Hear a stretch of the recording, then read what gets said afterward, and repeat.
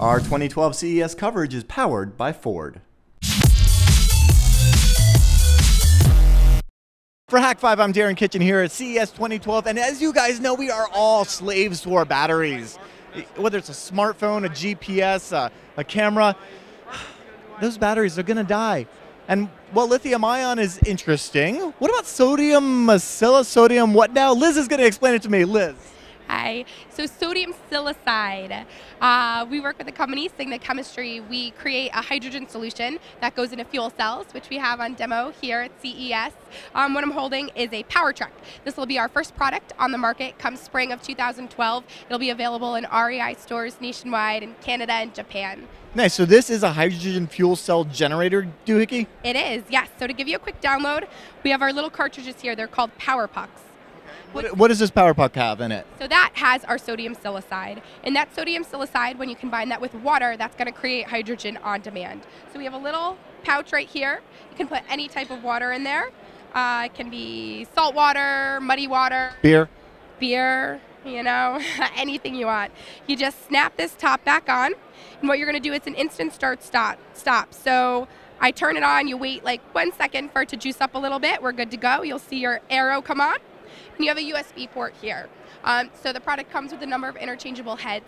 So any type of newer electronic that you have that's a small device. It seems like everything is USB these days. So this is pretty cool. Now I've just put these chemicals in here in water and it's now created hydrogen, creating electricity. It's outputting uh, one amp, five volts. It's got 1500 milliamps. So as you can imagine, that's probably about one iPhone's worth of battery.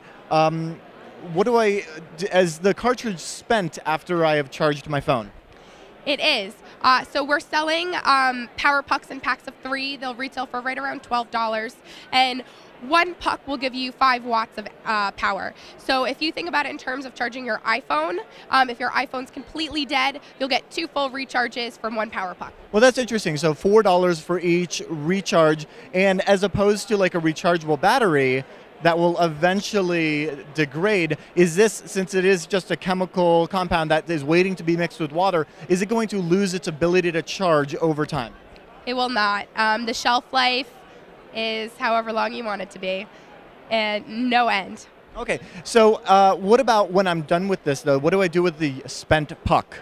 Um, right now, you can throw it away. What we're hoping to do um, you know, we're hoping by the time that these products are, are market ready and consumers can go out and buy them, we're hoping to have uh, retail places like REI, you know, which would be selling the products where consumers can bring a number of the cartridges back and they would send them back to us and we would refill them with sodium silicide and then ship them back to the consumer. Thank you, Liz. Really appreciate it. Now, as you guys know, you can find continued coverage of all things CES 2012 at revision3.com slash CES. And once again, I would love to thank our wonderful uh, sponsor, Ford for powering our CES coverage.